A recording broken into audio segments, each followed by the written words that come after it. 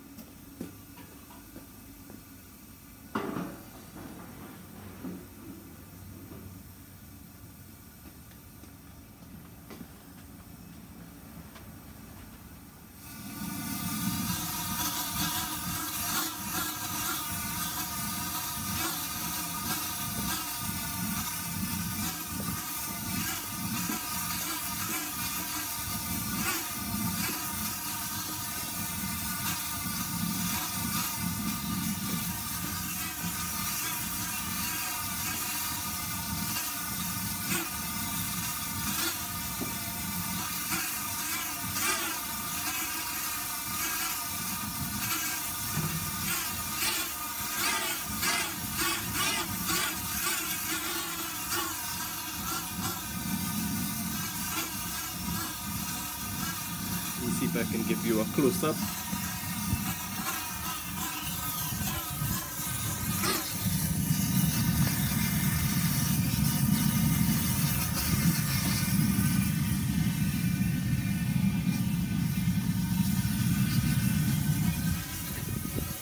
Changing color in a minute.